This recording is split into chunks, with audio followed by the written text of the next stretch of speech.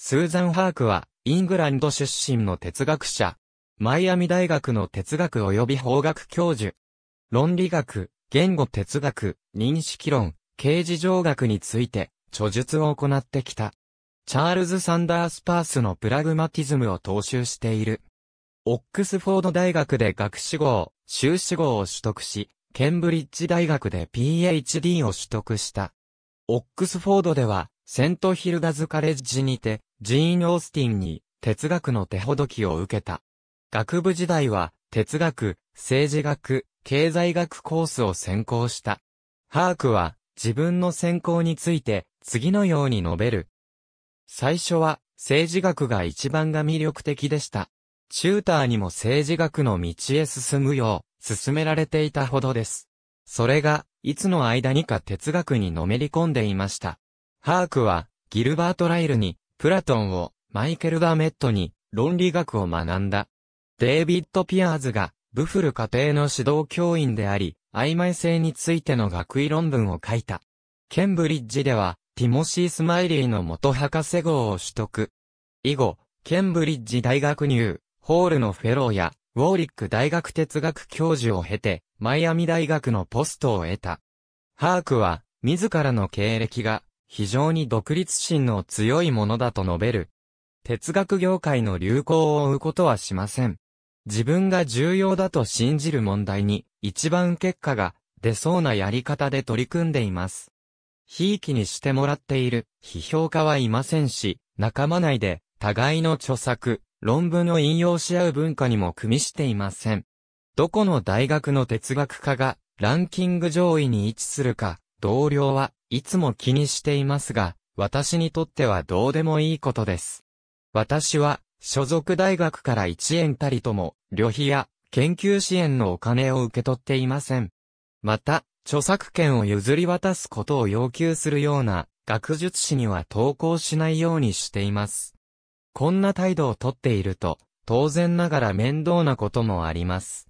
ですが、自分にとって最高の仕事ができるという自由には変えられません。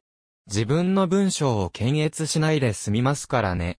結果として、大概のニッチな研究よりもずっと多くの読者を得られています。ハークによる主要な功績は、1993年の証拠と探求において展開された基礎整合説と呼ばれる認識論的立場である。基礎整合説は純粋な基礎付け主義と、純粋な整合説がそれぞれ持つ難点を避ける理論として考案された。ハークはこのアイデアをクロスワードの比喩で説明している。単純化すると次のようになる。ヒントを手がかりにして答えとなる単語を探し出すことは基礎となる根拠を経験によって得ることに類比的である。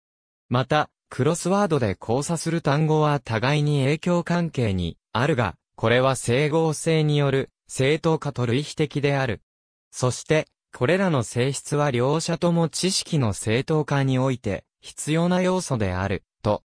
なお、ハークの基礎整合説は、突き詰めていけば結局基礎付け主義に出してしまうと指摘する研究者もいる。ハークは、リチャード・ローティを強く批判している。We Pragmatists Peirce and Rorty in Conversation というハークの書いた戯曲があるが、これは、全編パースとローティの引用だけでできている。ハークは、同著で、パース役を演じている。ニュークライテリオン誌に発表した論文では、ローティの見解、とりわけ彼がある、種のプラグマティストであるという主張に強い異議を唱えている。